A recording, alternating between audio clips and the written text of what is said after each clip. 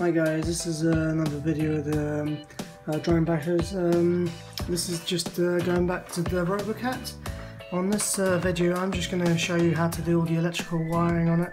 Uh, so um, to start off we've got these uh, motors. They are um, motors. They're 200, uh, 2300 kV and they weigh 400, about 40, 40 grams which is pretty light to be honest because um, they're pretty foul, uh, powerful.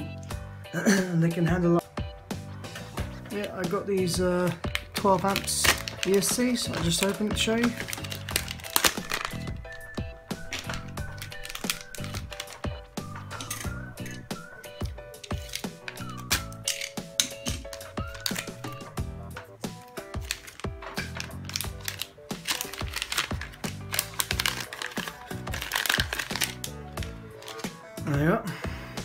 nice and small. They'll be going. They'll be going inside this uh, bottom tray here. I should put these aside now because we won't need it. And because uh, what, what I normally do with these, um, I'll attach the motors, and I'll see which uh, which rotation, like which way it's rotating, and then I'll attach them onto each of the sides and I'll color code it because one, of one of them will be counterclockwise and clockwise. So I'll make sure like they've got the right side on. So uh, when I throttle it uh, the screws won't be coming undone. So yeah. Just to make it a bit easier. For this uh, setup I will be using the CC3D um, and uh, I'll be using OpenPilot as you can see this I've printed out. And um, once I've uh, installed everything, I'll have light motor 1, 2, 3 and 4 and uh, these will be the rotation that they'll have to spin after I've um, added uh, my ESCs and, um, and made sure they're rotating in the right direction. I also added a bit of heat shrink on there just to make sure it's uh, nice and sealed. And uh, just heat it up a bit just to shrink the heat shrink. and uh, now what I need to do is make sure I put them in the right there, in the, in the right place, so um, they'll spin in the right direction. I've actually pre-tuned them because what I done was uh, before I welded them, I welded one on. I always welded the middle, the middle one on of the EC to the middle motor because the ones you have to change is the ones on the outside because uh, then it'll make it spin in different directions. So then what I've done was I just plugged that to the LiPo, plugged it to one of these FlySky receivers with twin aerial, and um, on channel 3, because channel 3 is the throttle on the FlySky, and I, with, uh, with this uh, control, I just basically throttled it if it was, it was working. And uh, the thing is, I calibrated the ECs uh, one by one. The way to do it is, is basically when your motors are turned off, you plug that into your, receive, onto your receiver on channel 3, which is the throttle, and uh, before you turn anything on, well you can turn the control on, but after you've turned the control on, you full throttle it, and um, you turn, you plug this into the LiPo, and then it will just, it will make a couple of beeps, and you put the throttle back down, and it'll just the calibration will be over. I've done that with all my ESCs just to make it, just so the throttle response will be a bit quicker. And uh,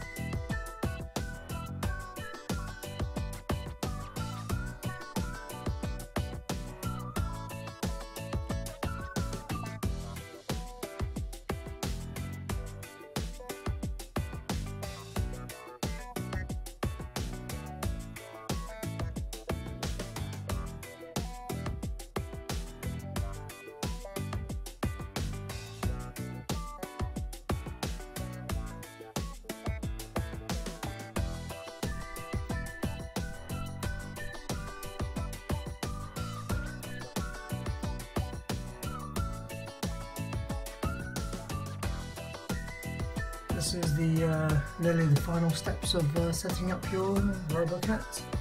I've got all the um, all the motors plugged in, all the ECs on there, and what uh, what's how it's meant to be on there is basically one, two, and three, and four. And on here, on this side of your CC3D, you'll see you'll see it saying one to eight or one to six, sorry. And then uh, you can you just basically plug them in order of like the one, two, three, and four. and I've plugged my CC3D to the, my laptop, and as you can see, if I move it, it actually shows me on my laptop that it's uh, the right software. Um, sometimes you have to download uh, different types of uh, um, software. This was the, I think it was the 15.0.2 um, for it to work with the CC3D. And uh, to uh, plug your receiver, your cable, basically what I do is I get the end where it's got all the, the three stuck together and I, st I start from on the on the receiver. It works with uh, any receiver. Let's see, where's the one? Channel one. Channel one is the bottom one down here. This one here. So I'll do one, two, three, and four, and five, and six, and uh, I'll just basically I will follow this up from this end to the up to the from this end to this end. So uh, this is what I mean from following it from one end to the other end, so from the top end to the bottom end.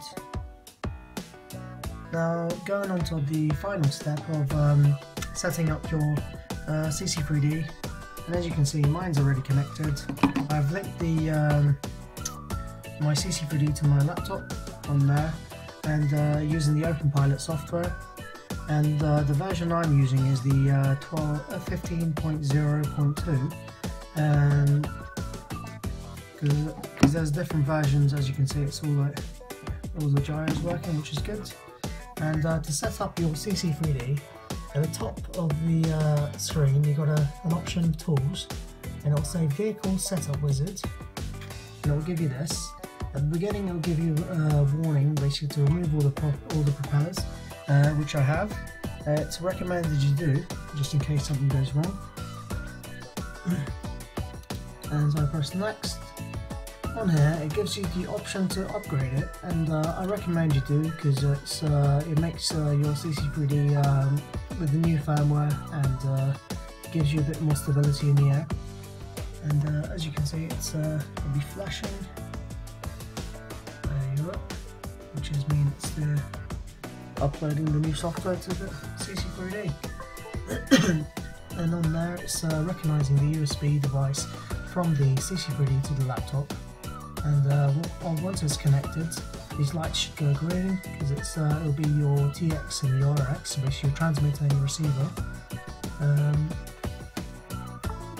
you go. And it just basically that means you're connected now. it can detect both your receiver and your, your, your, transmitter and the receiver. And on here it gives you the uh, type of uh, board you've got, which is detected uh, OpenPilot Copter Control 3D. Uh, on this option here, the PP, PWM option is what we've used here. We basically, uh, we've connected all the wires from 1 to 6, but I only use about 5 to be honest, but you connect 6 because you might use a 6. and uh, if you wanted to use, um, if you had a PPM receiver, which I do, but I'm just doing it the long way to just to show you guys how to do it, um, you'd click on here and what the PPM is is instead of using all the wires on the on the receiver you just use one and it does everything. But we're using today we'll use the PWM and we'll go to next and it will ask you to choose what type of uh, vehicle you have and we have a multi-rotor so that and it's uh, the type of uh, the quad here we have here. It's a quad X which uh, you can see the option up here. And if you go next uh, you can uh, it's got the what type of uh, ESCs do you have? I've got the um, Emax uh, Simon K 12 amp ESCs, which uh, they they're quite rapid ESC, so I've chosen the rapid ESC option on the middle, and uh, they just basically tell you the uh, specs you've chosen on there, and you go to next, and you don't have to calculate. Well, you can calculate it, just calibrate it to be honest. But with the CC3D, if you do crash it, uh, you have to basically unplug the battery and plug it back in because what that does, it calibrates the uh, OpenPilot or the uh, 63D. And it's done that, so we can go next. On here, it, go, it gives you some uh, warnings and how to do and what to do. Basically, you shouldn't connect your battery before it asks you to, and when you do connect your battery, make sure your props are removed, just for safety precautions. Okay, and then here it says I remove all the propellers on my vehicle. The vehicle is not powered by any external power, so I've got no no uh, LiPo battery connected to it, just the uh, USB the USB coming from the laptop.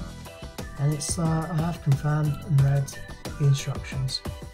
And I press start, and it gives me the option on there to say that uh, I can connect my battery now. and uh, we'll go over here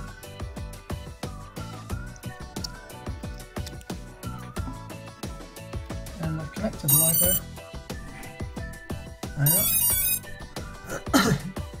and it gives you a little tune.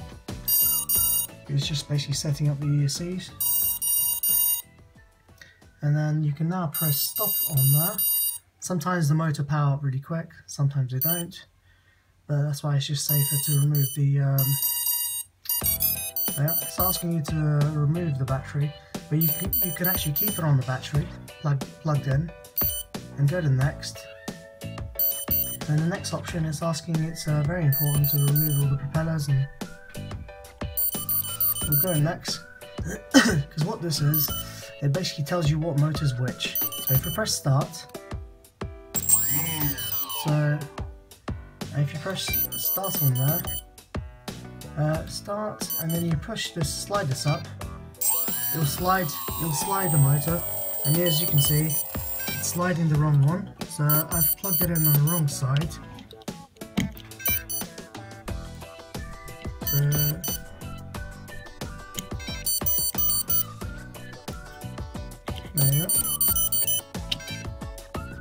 and we'll just see if we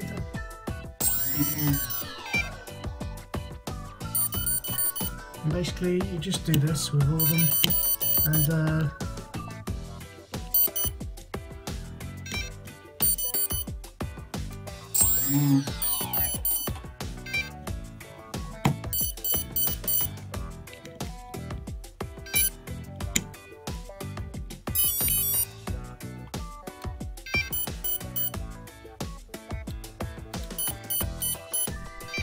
And you basically just press next. Once you've done the motor 1 and you test motor 2 so that's spinning.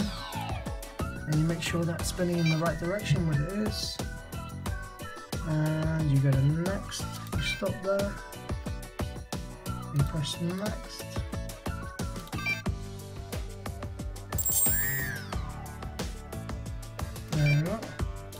Once you've set up all your motors and uh, you've seen that they're connected correctly on there to the, to the uh, 1, 2, 3 and 4, what you do is on the vehicle setup you just press next and it will ask you to choose what type of um, vehicle you have. You can either choose your own current tuning or you can choose to basically they've got some options on here and it gives you the uh, the weight and the um, like I said the MAR uh, ZMR 250s to be honest the ZMR 250 is the best setup in my opinion. Um, I choose the one with the Mobius, the 530 grams. Um, there's one 630 that would be, would be better because the Robocat is slightly heavier than the um, the ZMR 250, and it means the motors won't be uh, work too much. So you press next and save.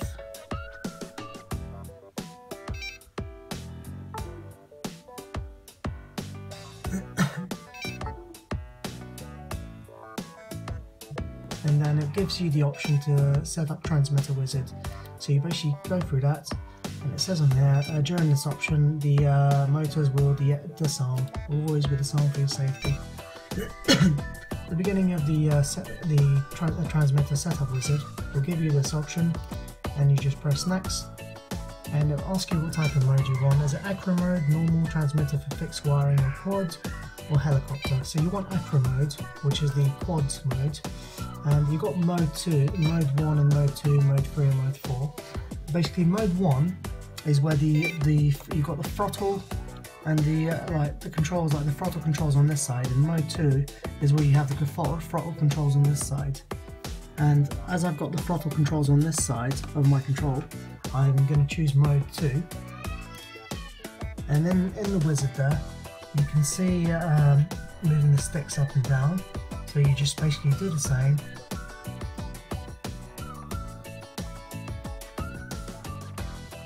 Once you follow the steps the um, you'll, come to the option where basically it will tell you to see if your controls so basically if you're moving up that should be moving down and up exactly as your control.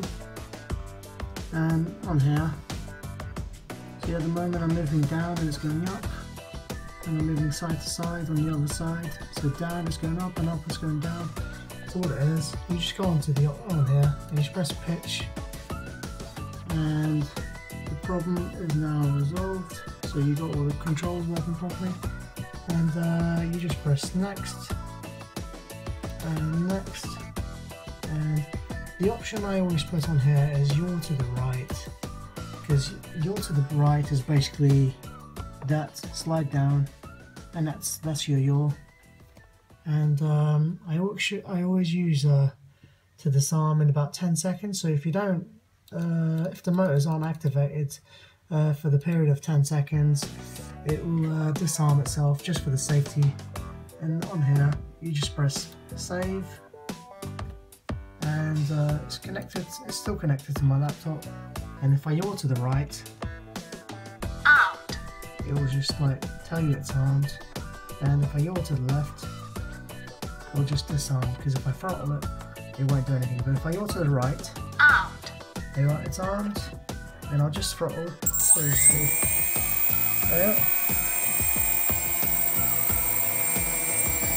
And there you are, we have a working RoboCat. I just need to add the hood and um, it'll be good. This, well, this uh, model uh, will be flying just without the uh, the yellow covers because um, uh, I've just uh, resprayed them